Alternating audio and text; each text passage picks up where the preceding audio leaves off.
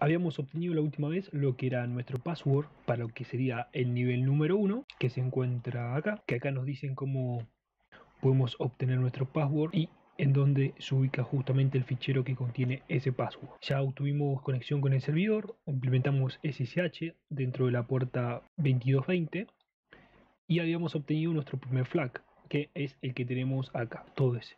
Yo esto lo vine resolviendo, fíjate que ya tengo bastantes niveles resueltos por el simple hecho de que voy documentando en base a cómo lo voy resolviendo. Una vez más te recomiendo que después cuando esto lo suba al GitHub no te fijes lo que es la solución y te fijes cómo puedes resolverlo vos. Si no sabes resolverlo, fíjate que tengo justamente la resolución documentada, paso por paso cómo lo fui pensando y en base a qué me baso para poder resolverlo.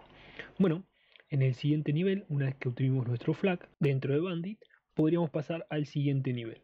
Que el siguiente nivel es el nivel número 1 y para poder entrar al nivel número 1 hay que poner el password del nivel número 0 que obtuvimos justamente ese flag. También te quiero decir que acá cambié lo que es la terminal. Yo voy a trabajar ahora con la terminal, eh, la aplicación se llama Terminator, ¿sí? que te permite justamente desplazar diferentes ventanas dentro de esta misma terminal sin tener que invocar a un tipo de función especial, por ende es muchísimo más ligero y entre otras funcionalidades y utilidades que tiene este tipo de terminal. Vos podés seguir trabajando con la terminal común, sencilla de Parrot, que tiene las letras verdes. Lo puedes cambiar eso, pero es indiferente simplemente para guiarte, o puedes descargarte este tipo de aplicación. No corresponde al curso, así que después investigalo por tu parte. Vamos a entrar justamente al nivel número 1. Dice en este caso que la contraseña para el siguiente nivel está almacenada en un archivo llamado guion localizado, localizado en el directorio principal, ¿sí? in the home directory.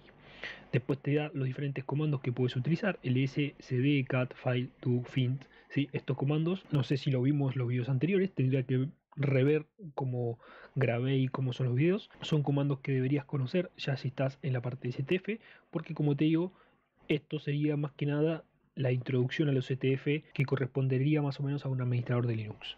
Entonces esto tenés que saberlo de pie a cabeza prácticamente. Si esto no lo sabes, como siempre, siempre busca lo que es la documentación. La documentación la llamas a través del comando man. Acordate siempre el comando man. Y si querés, por ejemplo, buscar, no sé, el comando ls, colocas man ls, ¿sí? y vas a poder visualizar los diferentes parámetros que puedes utilizar con este tipo de comando.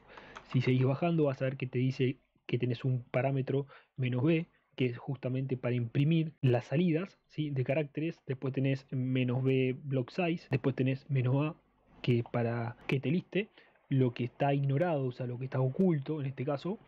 Eh, lo que comienza, mejor dicho, con un punto, si son todas las carpetas que están ocultas, y después menos a mayúscula para que te liste solamente las carpetas que están ocultas con un punto y los subdirectores. Bueno, estos dos puntos corresponde a un directorio principal y el punto corresponde al directorio precedido del principal. Si son directorios ocultos. Después tenemos menos "-c", también otro comando utilizado, menos "-b", bueno, y así sucesivamente. El más común es utilizar menos "-l", "-l", ¿sí? para listar de forma ordenada y con, todos los, y con todas sus características lo que sería justamente ese tipo de comando.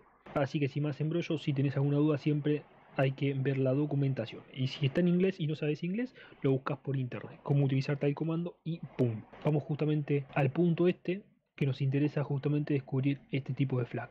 Bueno, estamos en el primer nivel. Lo que podríamos hacer es conectarnos a través de SSH, como siempre, SSH bandit1 arroba lo que sería nuestro host banditlabs.org y después lo que sería el puerto menos p en este caso 2220 si nosotros le damos enter para conectarnos, vas a ver que nos va a pedir que es nuestro password. ¿sí? El password vendría a ser el flag que nosotros obtuvimos.